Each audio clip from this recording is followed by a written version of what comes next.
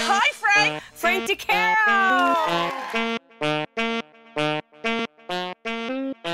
You wonder if you're cuckoo. What the hell are you doing with that mullet? Oh my! Yeah, I'm deranged. My friend Frank DeCaro. He's the author of the Dead Celebrity Cookbook. He is adorable. He's got a show on OutQ Radio on Sirius XM. These are the most famous dead celebrity recipe ever. Okay. And they're they're about as good as brownies can get. Cheers. Oh, heck oh. Fat gay people eating today on OWN. Okay. Do we love Lucy, I right? Okay. love Lucy she loves me. We're as happy as two can be. There we go. Friday was the opening day of the blockbuster film Gladiator. For Frank DeCaro, it was the highlight of his life thus far. Let's go out of the movies with Frank DeCaro. Friends, Romans, countrymen, me your rears.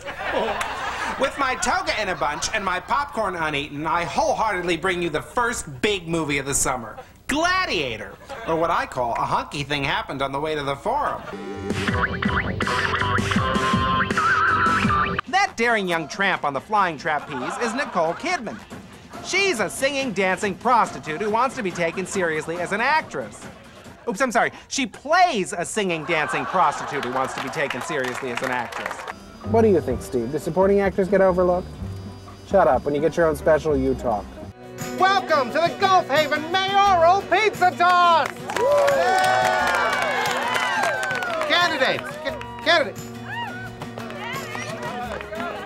Hi, everybody. I'm Andy Torres, and I'm running for mayor. Shut up, Baldy. Toss the dough. Your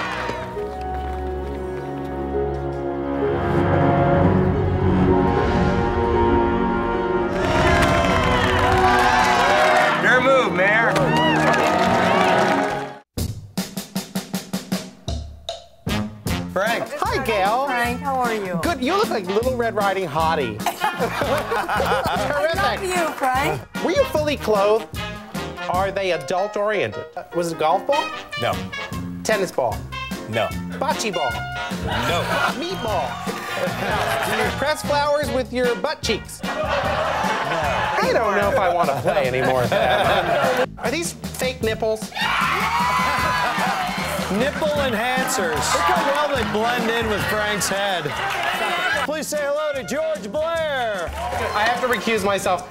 I slept with him. Uh, I'm sorry. I don't remember it. I get that all the time. I took what was my childhood bedroom and turned it into what we call the bat room. Come in and see my Batman collection. I have a decorator friend who said to me that if you don't display it beautifully, it's just a lot of junk. It's visual Prozac. You walk in there, how can you not love it? It's toys everywhere you look. I just, I pull them out of little kids' hands at the, at the toy store. I'm like, kid, give me, I need that more than you. Flaming screens. with Frank DeCaro. James Franco hasn't been blown that hard since Milk. When the weather clears in Oz, the great and powerful, everything is in color, and Franco is in the magical land of CGI.